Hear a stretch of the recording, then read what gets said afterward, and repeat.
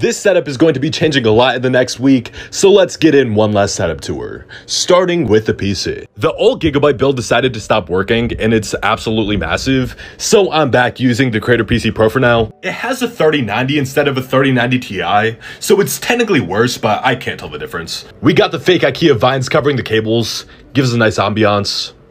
I like plants. And then, of course, the centerpiece of this setup, the two FO48Us. These are 48-inch 4K 1 millisecond response time, 120 hertz OLEDs.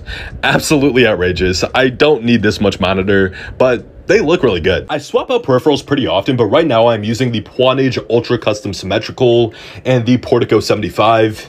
I think this wrist rest is from like a random RG keyboard, but I like it, so stays there. And then over here is where I make videos. Uh, this is the Amaran P60C light panel.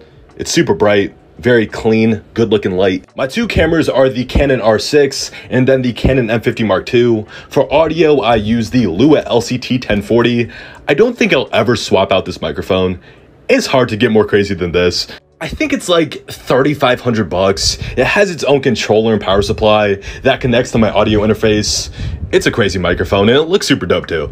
The headphones I'm using right now are the Focal Elexes. I got them from drop.com. They're super comfortable, very well built, sound amazing obviously, really sound headphones. And then finally the second desk is kind of just like a workshop. I have my overhead light, um, some laptops are out right now, my drone, video mic, Google, Alexa. Alexa's not plugged in, I hate Alexa.